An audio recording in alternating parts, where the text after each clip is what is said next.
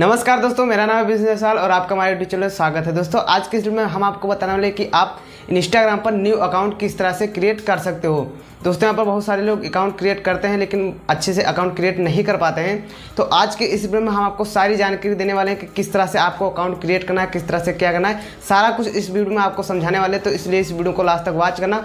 और अगर हमारे चैनल पर नए चैनल को सब्सक्राइब कर देना, वीडियो को लाइक कर देना एक प्यारा से कमेंट ज़रूर कर देना दोस्तों। तो चलते हैं मोबाइल के स्क्रीन पर और आपको बताते हैं कि किस तरह से आपको इंस्टाग्राम का न्यू अकाउंट क्रिएट करना है। चलते मोबाइल के स्क्रीन पर और आपको बताते हैं। लेस गो तो दोस्तों, यहाँ पर मोबाइल के स्क्रीन पर आ चुके हैं। अब मैं आपको बताता हूँ कि किस तरह से आपको इंस्टाग्राम का न्यू अकाउंट क्रिएट करना है। तो यहाँ से आपको इंस्टाग्राम को ओपन कर लेना है। तो दोस्तों, यहाँ पर जैसे इंस्टाग्राम को ओपन करोगे तो आपके सामने कुछ इस प्रकार का इंटरफेस आ जाएगा। अगर आप पहले से इंस्टाग्राम को यूज़ कर रहे हो तो आप पहले जो अकाउंट बनाकर रखे होंगे, वो यहाँ पर आपको शो कर रहा होगा। तो यहाँ पर अगर आपको शो नहीं कर रहा है तो आपको न्यू अकाउंट अगर आपको क्रिएट करना है तो आपको क्या करना पड़ेगा? यहाँ पर नीचे आपको क्रिएट न्यू अकाउंट का ऑप्शन देखने को मिल रहा है, इस पर आपको क्लिक कर देना है।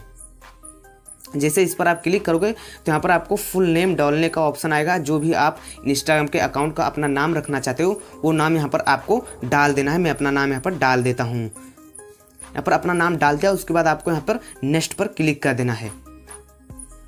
जैसे यहाँ पर नेक्स्ट पर क्लिक करोगे, उसके बाद यहाँ पर आपको पासपोर्ट डालने का ऑप्शन आएगा। तो यहाँ पर अपने अकाउंट का जो भी आप पासपोर्ट रखना चाहते हो, वो पासपोर्ट यहाँ से आपको डाल देना है।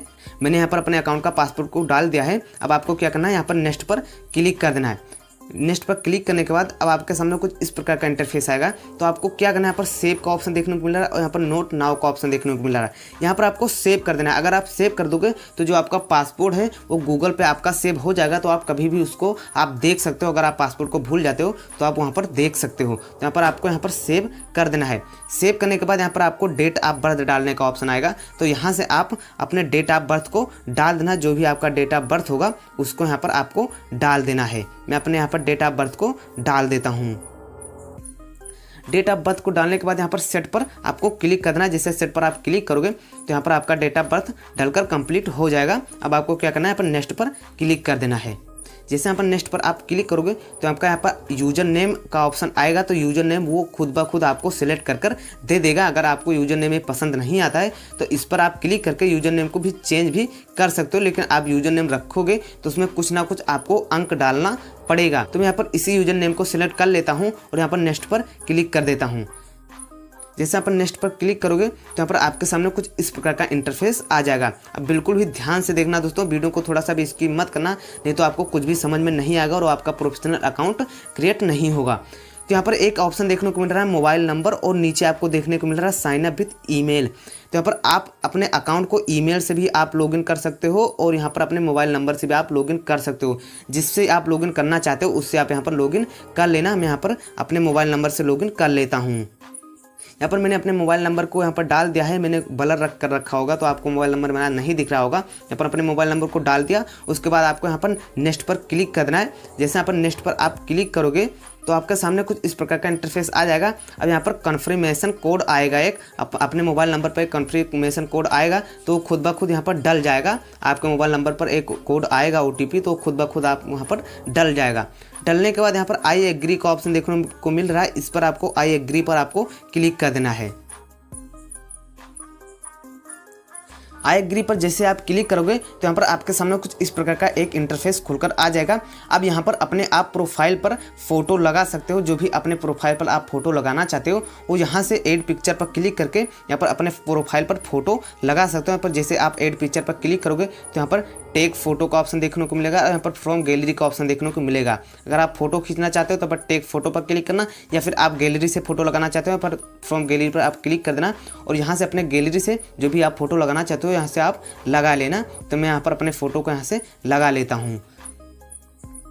यहाँ पर हमारा फ़ोटो लगकर कंप्लीट हो गया। उसके बाद आपको क्या करना है, यहाँ पर डन पर क्लिक कर देना है। और यहाँ पर आप डन पर जैसे यहाँ पर क्लिक करोगे, उसके बाद आगे क्या होता है, मैं आपको बताता हूँ कि किस तरह से आगे आपको क्या प्रोसेस करना है। तो वीडियो को थोड़ा सा भी इसकी मत करना दोस्तों, वीडियो को पूरा वॉच करना। तो यहाँ पर आपके सामने कुछ इस प्रकार का इंटरफेस एक और खुलकर आ जाएगा। तो यहाँ पर तो यहाँ पर बोल रहा है कि आप अपने इंस्टाग्राम अकाउंट को फेसबुक से ज्वाइन करना चाहते हो फेसबुक से ज्वाइन करना चाहते हो या नहीं करना चाहते हो? तो अगर आप ज्वाइन करना चाहते हो तो यहाँ पर आप कंटिन्यू पर क्लिक कर देना। अगर आप ज्वाइन नहीं करना चाहते हो तो यहाँ पर आप स्कीप पर क्लिक कर सकते हो। तो अपन मैं स्कीप पर क्लिक कर देता हूँ, मैं अपना फेसबुक से यहाँ पर ज्वाइन नहीं कर रहा हूँ। उसके बाद यहाँ पर फॉलो फ्रेंड्स का ऑप्शन देखने को मिल रहा है। आप फॉलो फ्रेंड्स पर क्लिक करोगे तो यहाँ पर आप किसी भी फ्रेंड्स को अगर आप फॉलो करना चाहते हो तो यहाँ पर फॉलो कर सकते हो। तो मैं यहाँ पर स्कीप पर क्लिक कर देता हूँ। जैसे स्कीप पर आप क्लिक करोगे तो यहाँ पर आपको क्या करना है? इस पर आपको क्लिक कर देना है। एस वाई एन सी जो लिखा है ना, इस पर आपको क्लिक कर देना है।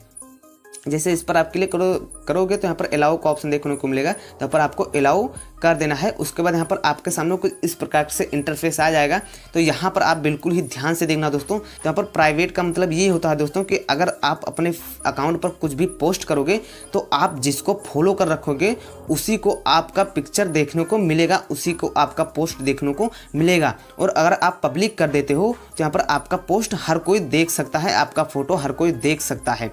तो पर अगर आप कुछ भी क्रिएटर हो या कुछ भी हो, आप मतलब अपने अकाउंट को प्राइवेट रखना चाहते हो तो प्राइवेट रख सकते हो, या फिर आप पब्लिक ही रख सकते हो। तो मैं यहाँ पर पब्लिक पर क्लिक करके यहाँ पर नेक्स्ट पर क्लिक कर देता हूँ।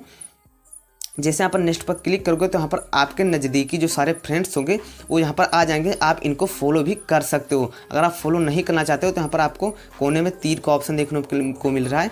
इस पर आप क्लिक करके आगे भी बढ़ सकते हो। जैसे यहाँ पर क्लिक करोगे तो यहाँ पर आपका अकाउंट बनकर बिल्कुल ही कंप्लीट आपका अकाउंट बनकर यहाँ पर रेडी हो चुका है। अगर आप कुछ भी पोस्ट करना चाहते हो तो यहाँ पर प्लस के आइकन पर क्लिक करके आप यहाँ से कुछ भी आप पोस्ट कर सकते हो। आप कुछ भी फ़ोटो या कुछ भी आप पोस्ट करना चाहते हो तो यहाँ से आप पोस्ट कर सकते हो या फिर अपने यहाँ पर लोगों पर क्लिक करोगे और यहाँ पर आपको कोने में प्लस का आइकन देखने को मिल रहा है।